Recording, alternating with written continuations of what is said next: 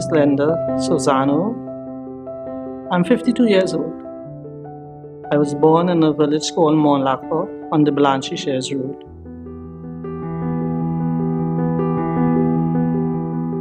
I grew up in a very humble home. My father was a farmer. My mom was a housewife. I attended Brasso Seco RC School.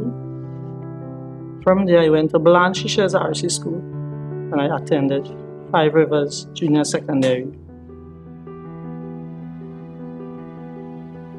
While attending Five Rivers, you know, transportation wise, I had to come up here and live with my aunt.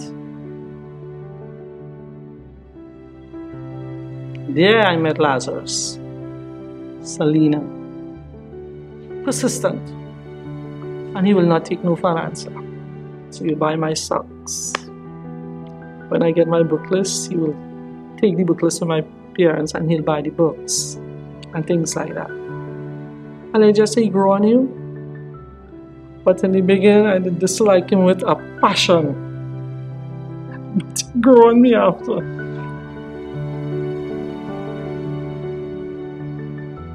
she was staying down there to go to school and they fall in love, you know, young people, and that was it. Yeah.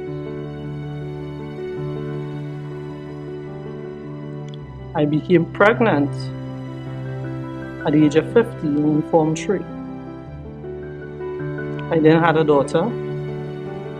She had about a year and a half. Then I got married because she was just pushing marriage all the time and I got married at that time. 26th of December 1984.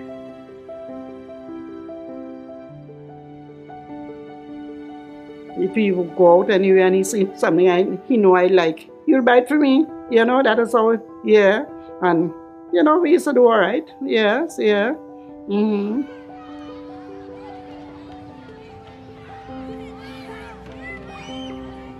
Larry Bird, as I knew him at the time because of football. We always had a rivalry with Surrey and Lopinot in sports, whether it be cricket, football, whatever. So we always had a good rapport.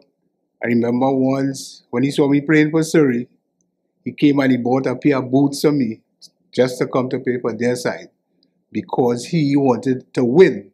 And seeing me, knowing that the forward I was, he wanted to get me to come to play for them. So he went and bought a pair of new boots and came and gave it to me. And we grew, grew closer through sports. We moved right more like itself. We built our own home. And that's where, um, you know, when you're alone, so that's when the, he kind of started. He will start using obscene language and stuff like that the little hitting and the stuff like that. He started having affairs. I was christening my daughter. And while the christening is going on at mommy home, he's in the community center with a young girl. Looking back now, I realize he never goes after mature women, adults. He, he likes young girls. And that is where the problem came for the both of us. 14, 15, that kind of age, that is what he looks for.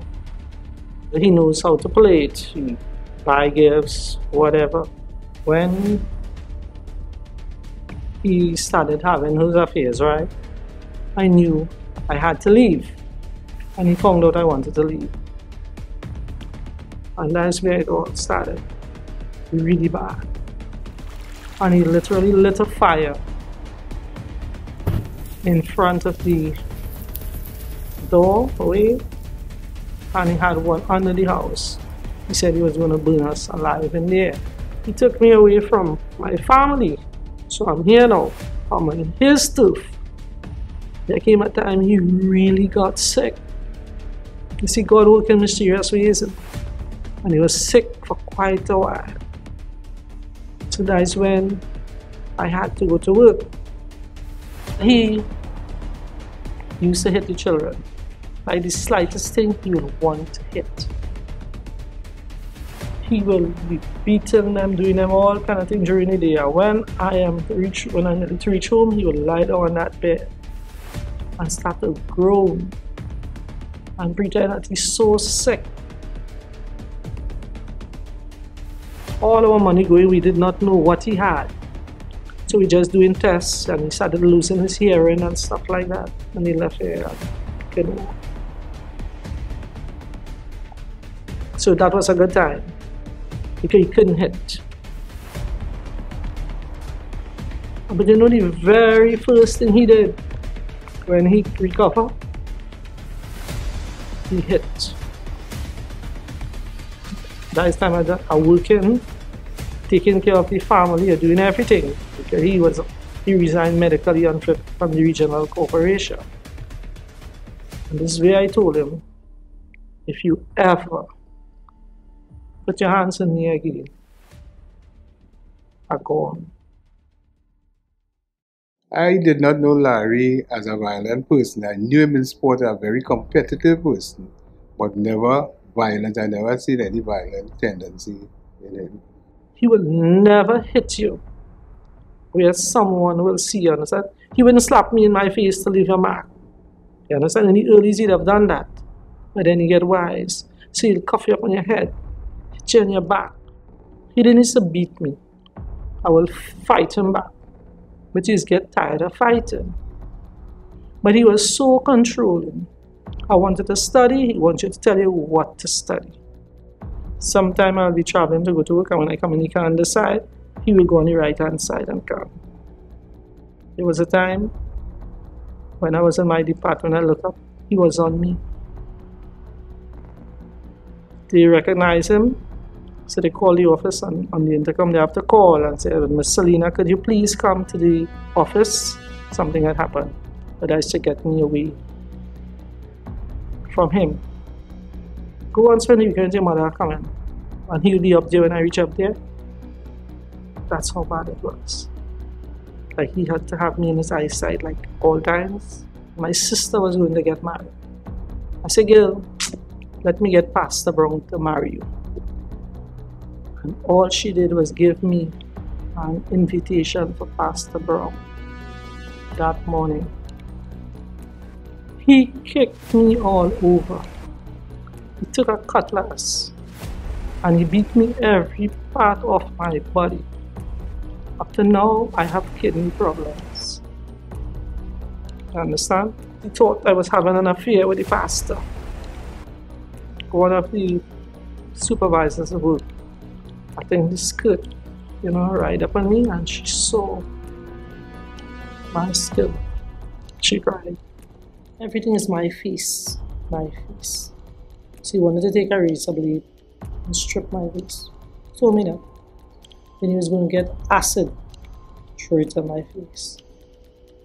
He had a police friend and he told that friend all manner of ways where he'd have killed me. Till the friend wife told him, boy, lock up that man. He will kill her. And they said no. It was only has. Well, I went to the police. Normal routine. Advised her to take out a restraining order. We went to court can't remember the magistrate name. And only told her, Your Honor, I snapped. I didn't mean to do it. And she wants counseling. I say, Lady, I don't want counseling. I want out. The magistrate denied it and sent me for counseling and said, That didn't work. He said he did not want counseling if I come back home, everything will be okay. I cooked, I did everything like a wife supposed to do. And then I packed the bag, four working suit, some underclothes. I took my little son and I left. Well, of course, you know, that time he's crying on the bed and he's sorry. And that is how we end up moving to Chaguanas.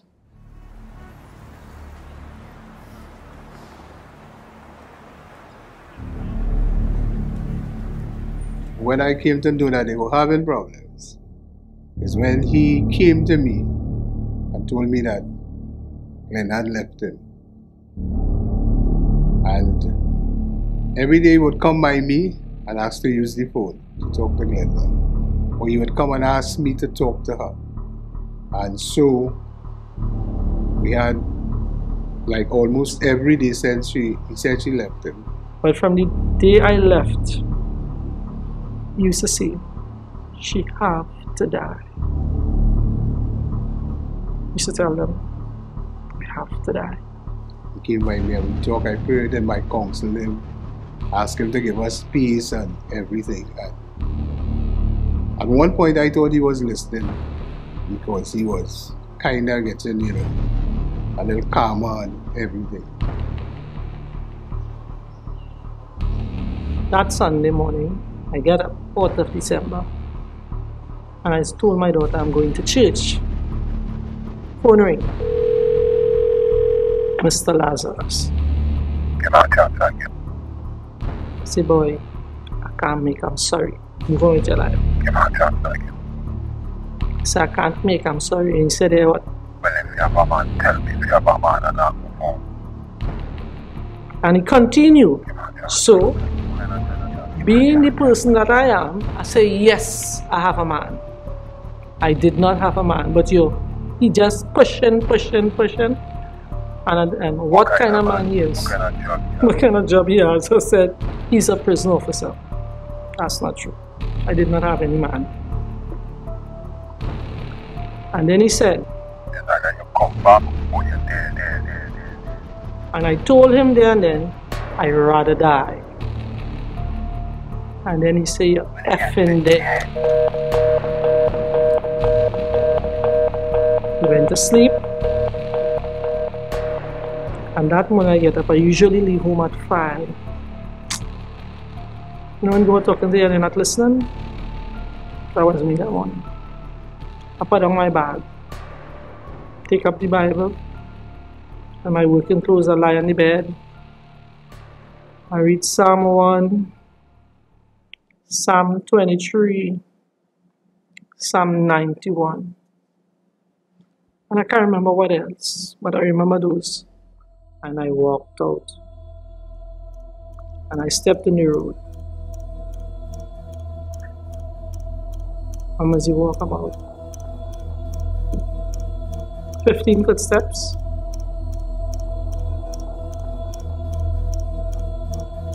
and I heard this running behind me.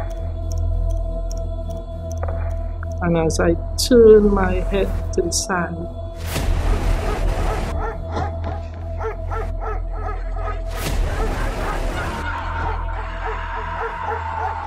He was sleeping.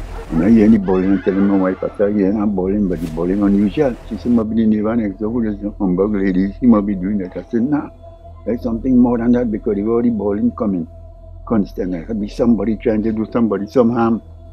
So when I run through this door here, I run through this door in front door here. I saw the lady trying to run in the yard, but he, he blocking her from running in the yard and chopping on her. Then I see she brush her hands one, I see chop the hand. Hand to the hang. Blood starts spraying. So she decided she had to run in the yard now. But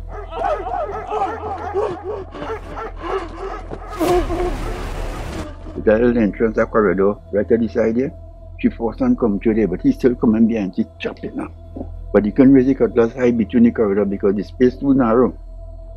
So as she returned to the end of the open, she fall down. Like she get weak now. And he coming over, she to chop, between she head.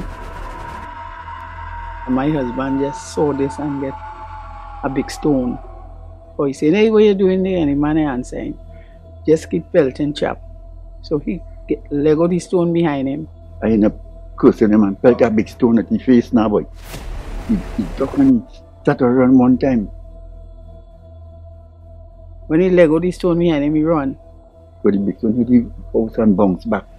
And started on the road, you know. And next neighbor come up with a cutlass. So all I step out and about, hey, what you doing? Tell him, ma'am, you going? Like you was someone what she know get there. And then he continued to walk away and leave her. But first I make sure that she safe by my neighbor. Kind of watching her, see my neighbor come out and they assist her. So I said, right. So I was going behind the guy to see where he heading out. What is the intention? So same time the, the lady's son come and the both of us went. But I see throw the cutlass over by my neighbor and he dropped his jacket.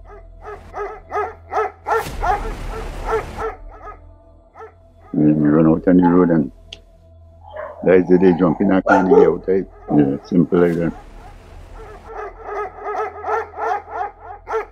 And my husband just saw this and he brings she and put she to sit down in the back.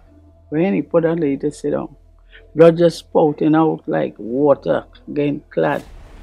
So I tell him, I say, I go and call his family because they say nice. And she just they talking like nothing happened. The man ship and thing wait for the ambulance. Ambulance take a while to come. Go on with she.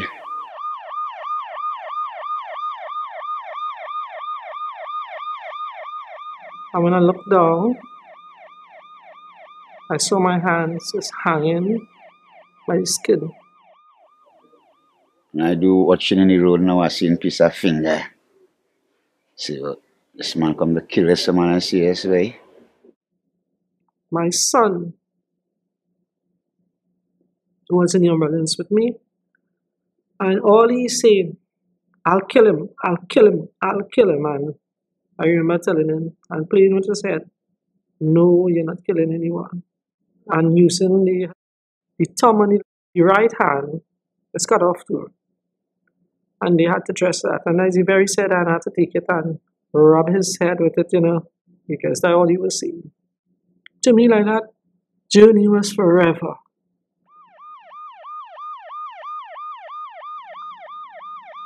And I remember when I reached at of Spain General Hospital, I saw my very best friend, Martha Bourne, and a few colleagues from work. And I remember as clear as day, all Martha telling him, don't cut off her hands, sir. Don't cut off her hands. I went in the theater and I came out and I remember asking my daughter, Where's my hand? And she said, Don't worry, Dad.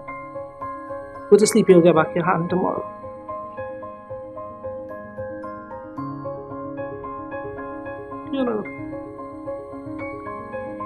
If I had to do this all over again and I lose the hand, I'd rather lose the hand and stay with him. He was a monster because he continued cutting, cutting, cutting. You know how long it take for them to stitch up my head? They said 52 stitches. If I go to the hairdresser, there's only shake head because everybody's want to know. So I really stopped going the scars are there. My eyesight is so bad because of that. Why they couldn't do anything for that hand? Because it's hanging the skin. I remember one of the boys came and they said, Daddy, and they told the father first because they don't know how I was going to take it. And then they told him what happened. So he said, all right, well, we have to go and look for her. And I remember when we went down to the hospital and um, we saw they coming out with her with, on a wheelchair from the ward, you know. And um, well, the father couldn't keep up, he burst down into tears because that man that loved his children. She said, Daddy, don't cry. I don't want you to feel sorry for me, you know, don't cry. I remember she told, told him that. Yeah, don't cry. Yeah. Nine o'clock next morning, a radio was playing in the back of me, the next section, and I heard Lazarus Saline had just died at the William Medical Sciences Complex. And I said, Thank you, God. Larry came out, them white panel bus, and he told us that he finished her. And um, he went by his mother just about three houses away and tell her that he loved her and give her a kiss and he drink some of the substance from the bottle in his hand. And we saw him drink at least about five times. He put it to his mouth and drink. And nobody couldn't go near him because he had a blade in his hand. And When he drunk the and they realized well he cannot help himself, they went up the hill, take away the blade. While coming down, the police reached and they put him a, the back of the van and carry him down. When I heard it, I was surprised because that morning I saw him walking down the road to go to the shop and he didn't look anything different. Oh, he didn't look anything different, so I really wasn't expecting something like that from him. When he realized I did not die, put his hand in his throat to see if he could vomit the poison out or whatever. Well, I had to do another surgery now because the right thumb cut kind of slant. This time I was so weak, so can't put me to sleep. And they had this needle and they searching on my right shoulder to find this nerve that I'll feel it in the middle finger. And when I feel that, then I could tell them, and they just chucking, chucking, chucking. It is one of the most painful, torturous thing I've ever been through. This losing the hand did not hurt like this, but so when it get numb, then they went and they cut this. So you can imagine this hand cut off and this hand up, tie up to some kind of thing. You get bleeding and all his cuts. And now, to make it worse, that time of the month come around. So that is when I cried because people have to do things to me. So when the pass urine, they have to come. I need to change a napkin, they have to come. It is one of the most, I don't know a word for it, honestly. For me to shower, I have to go like this. That's how it used to be. The officer who was investigating the incident, he used to come like every day. Well, Spain General Hospital, you know, he was such a sweetheart. He's a beautiful love, you know, and just a lightning moment. And he, he, he called me for years after until we lost contact, just like the people in the ambulance. They continued calling and checking up on me until we just lost contact. I had this colleague. Her name was Miss Kashi. Every night she would religiously come to the hospital. And when I look up, if I'm asleep, I will see her standing there praying. She never stopped praying, but when she realized, well, I will not die, that is when she stopped coming likely. My son, godmother, used to come, that is Martha. And she would come religiously, and then she had exam, and I told her, don't come back until your exam finish. And she used to be crying every day. Well, when I left the hospital, I stayed away from work 18 months. She took me in when she had to work, her family, her sisters, and I will come and make sure I shower and everything. Her husband will prepare my meals, um, give me my meds, everything. I have known Glenda Sorzano for the past 25 years. Um, she has always had a strong personality.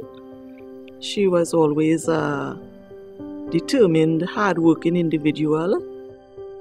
From inception, our relationship just hit off. The friendship grew over the years, and um, we remain friends up until today. The healing process wasn't bad. The phantom pains was terrible. And the therapy at the hospital wasn't working. So I was in the gym before.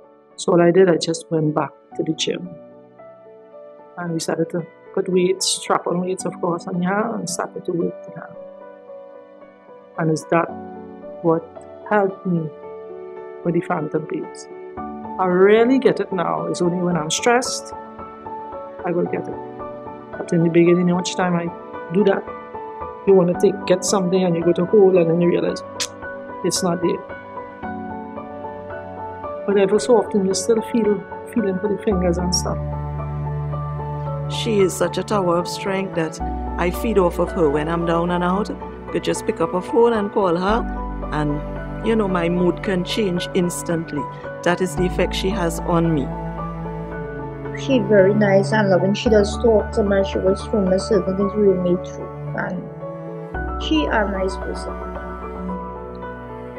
And we will talk at that time, we will talk about our ordeal and she tell me Sunday you have to forgive people and from a woman who have come from very far. And she wants good for all women in the world today. She means well. I was abused for years. Um, we have four children, kick, cough, gun butt. That time you, you cough for them. You can't go to no, you can't talk to nobody. You talk to anybody, uh, you're there with them. You can't go nowhere. Um, it continued for years and it keep on, it was just getting worse. And I'll take it for at least 15 years. The abuse, kicked off gun butt. Um, he lights a mattress and put me and the four children behind it and said, unless it didn't catch, he will not leave the house. I keep on telling them, Olia, anytime, always, your father doing something wrong. He take up a foundation block.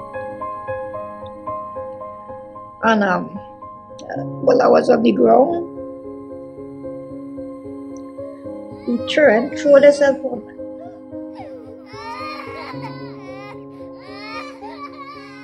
And they had him, so he's in prison almost five years.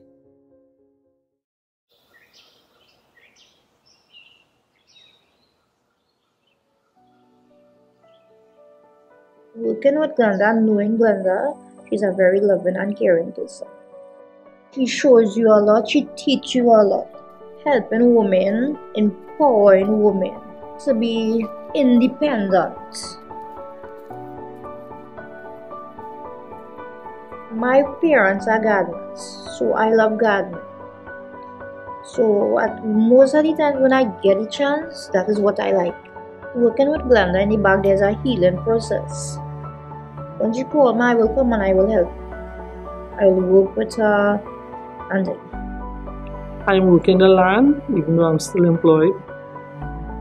Lovely, quiet place. To me, it's healing.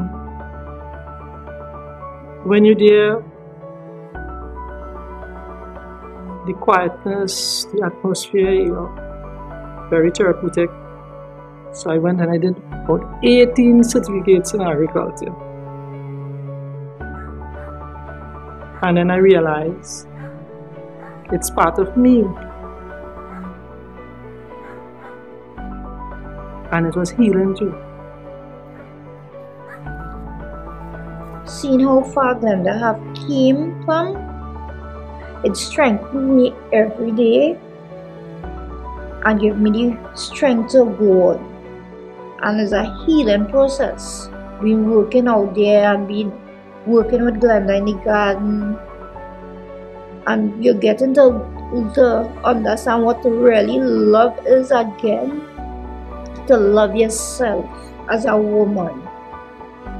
It is amazing. I really don't know many women who um, you could consider disabled who who um, could accomplish what she has.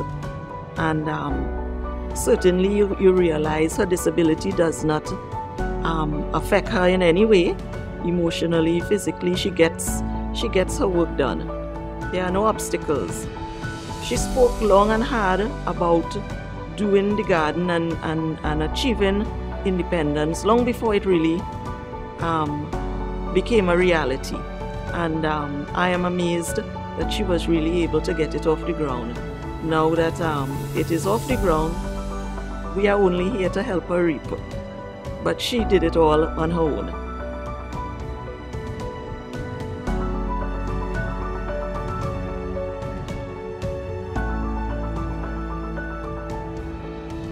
Woman, the first touch, the first wall, the first cream, the first anything, walk away. Look for the signs where there are red flags. Just get out of the relationship before it is too late. It makes no sense because we will think it will get better, but it won't. It will get worse.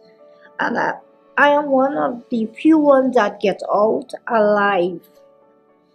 And I am begging to the young women of this country and to the world once you see domestic violence starts at a shout, please get out because we as women have lost lost in our lives through hands of some men, not all.